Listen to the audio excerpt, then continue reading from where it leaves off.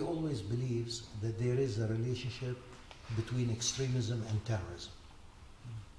You know, we can't come and say that uh, terrorism just happens. There is uh, a climate that is being created.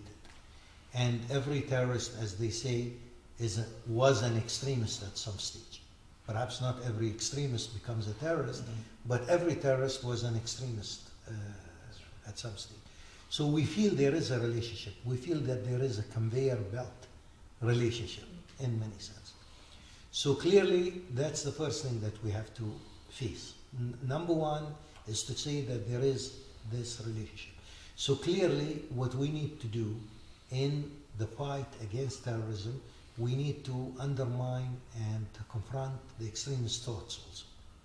In various ways, in how they deal with women, in how they try and, and, and, and present what, what, what I would call an exclusionist view of Islam, uh, the, the way that they want to impose, you know, what I would say this ultra orthodox conservatism on society.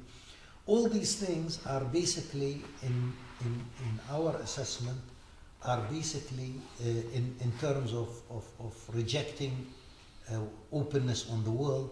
All of these things, in our opinion, are basically a foundation that feeds into extremism. I think uh, into terrorism. That's number one.